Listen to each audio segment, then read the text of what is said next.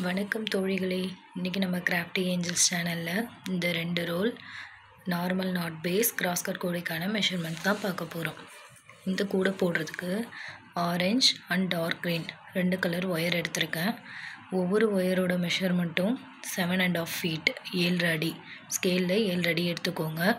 Orange கலரில் twelve wires எடுத்துக்கோங்க. Dark க்ரீனில் எயிட் ஒயர்ஸ் ஃபஸ்ட்டு ஸ்டார்ட் பண்ணும்போது orange colour wire running wire use பண்ணி ஃபோர் லைன்ஸ் போடுங்க.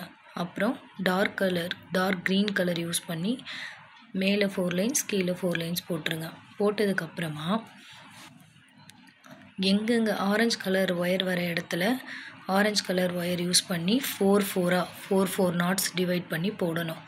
இங்கே நாலு ஆரஞ்சு கலர் ஒயர் வரும். இதில் நாலு நாட் இங்கே நாலு டார்க் க்ரீன் கலர் ஒயர் வரும். இங்கே நாலு டார்க் க்ரீன் ஒயர் யூஸ் பண்ணி நாட் போடணும். இங்கே ஆரஞ்சு வர இடத்துல ஆரஞ்சு க்ரீன் வர இடத்துல க்ரீன் எல்லாமே கிராஸ் கட்டில் போட்டுகிட்டே வரணும் நம்ம.